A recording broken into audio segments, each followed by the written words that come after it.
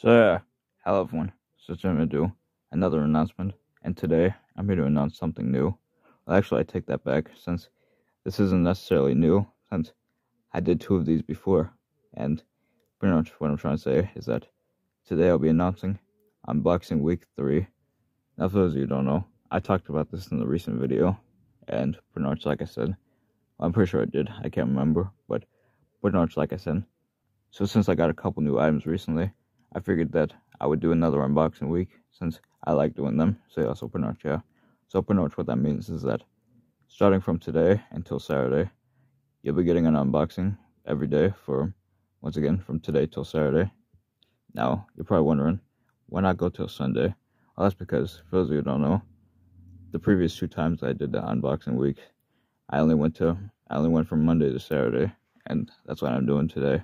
Well, that's what I'll be doing this week too, since pretty much at the time, well, pretty much when I did my first unboxing week, I only had six items to unbox, and that's why I figured that I would do it that way.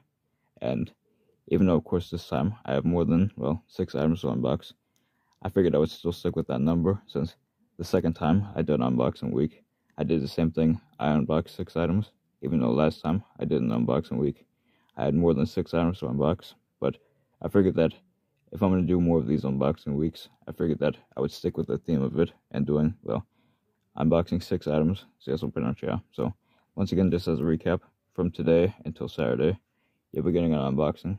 Much, yeah. So I just figured I'd mention that. Much, yeah. Anyways, before in this video, there's two things I'll mention.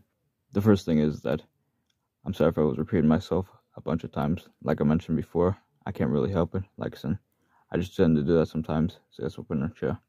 And the other thing is that I'm sorry if I was getting my words mixed up. Like I said, I can't help that about that too. Like I said, that's something that I tend to do sometimes as well. But anyways, like I said, hope you guys understand about that and much yeah. So hope you guys are ready for unboxing week and much yeah.